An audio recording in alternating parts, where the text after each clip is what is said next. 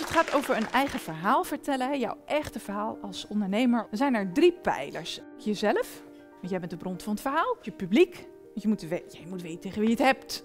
En derde is het verhaal zelf.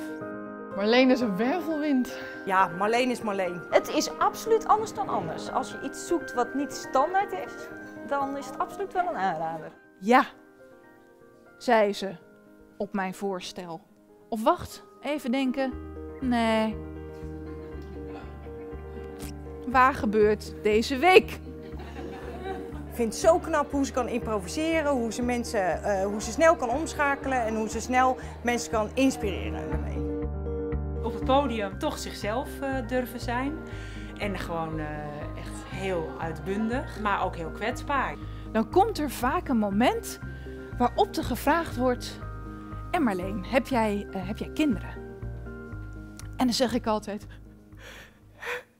Nee!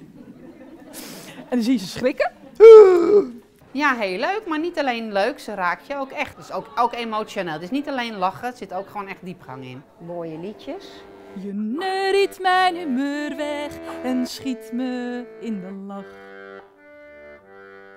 Je woont in mij. Je hebt zelf nog geen idee.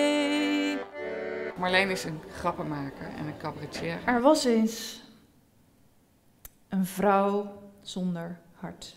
Ik vind het op de krachtigst als Marleen gewoon Marleen is, maar wel op het podium en ons dingen vertelt. En dan weet ze je te raken. Marleen leert je wel om anders naar het podium te kijken. En dat je er ook zelf meer uit kunt halen. Veel mensen Wat ik merk door mijn cabaret te maken, is dat door vorm te kiezen, dat op de een of andere manier je raakt, je raakt gewoon op een ander niveau. En daardoor, weet je, denken klanten, ja, weet je, ik wil gewoon met haar, ik wil met haar wil ik iets. Want man, het vraagt echt moed, weet je, om je eigen verhaal te vertellen. Om in je eigen bagger te duiken. En het vraagt moed om vervolgens vorm te geven aan dat wat je hebt opgedoken en dat te delen met andere mensen. En ruimte in te nemen. En dat is wat ik anderen leer als podiumcoach. Tada!